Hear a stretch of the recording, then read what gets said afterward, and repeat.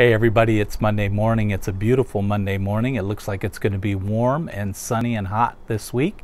Uh, so I want you to go out and build bridges. Be warm, sunny, and on fire for the Lord. As you're building bridges, remember the way to do that is to build your character. Allow God to change who you are from the inside out. Seeing is believing, and that's not a fish story. If you don't know what I'm talking about, you can go back online and watch our service for this past Sunday, and you'll catch up on all that we've been sharing about in terms of building bridges. And as we're talking about that, each Sunday when we're uh, meeting together, you can host at your home, kind of your own neighborhood church. If you're watching online, invite some neighbors, some family, friends to come join you, watch the service and uh, they can participate right in your home. Make your home a, a, kind of a neighborhood church for people that are looking for hope in these challenging times. And of course, you don't have to do that on Sunday morning, it's available all week. So maybe you want to invite people over this week to view our service last Sunday and just have a great time sharing around the Word of God. So you be a bridge builder this week, however, God wants to use you.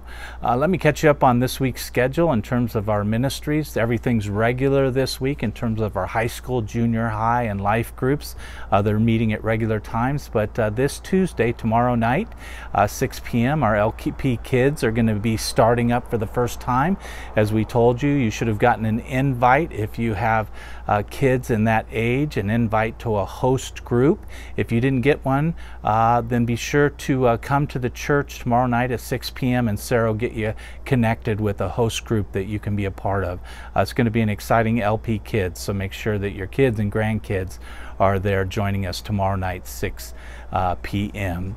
Also, want to let you know that this Saturday at uh, 3 p.m., we'll be celebrating Nandis Matson's life together at the church, 3 p.m. this Saturday, August 15th.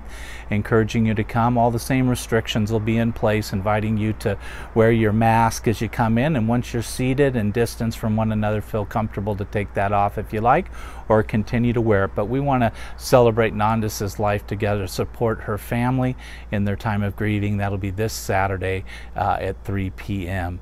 And also want to let you know that uh, Catherine McNay's family has decided they're going to be doing a graveside service uh, in Riverside on Tuesday, August 18th, uh, but they're limited to just a handful of people. So that's going to just be for the family.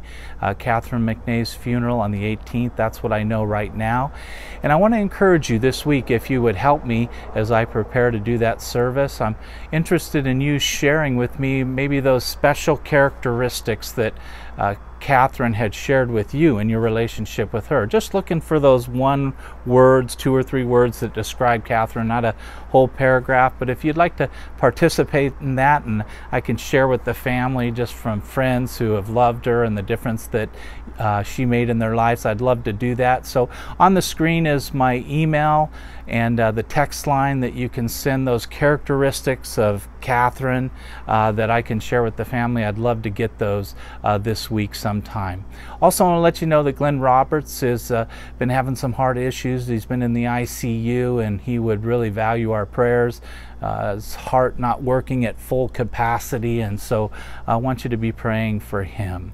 And uh, as we look forward to this week of ministry, I want your heart to be at full capacity, caring for people around you, building bridges. Maybe this is the week to make a phone call, a visit, send a note to somebody that you can make a connection with this week to encourage them in their relationship with the Lord. Trust is going to be a great week of ministry for you as you're building bridges. We'll look forward to talking to you on Thursday. Have a great week, everybody.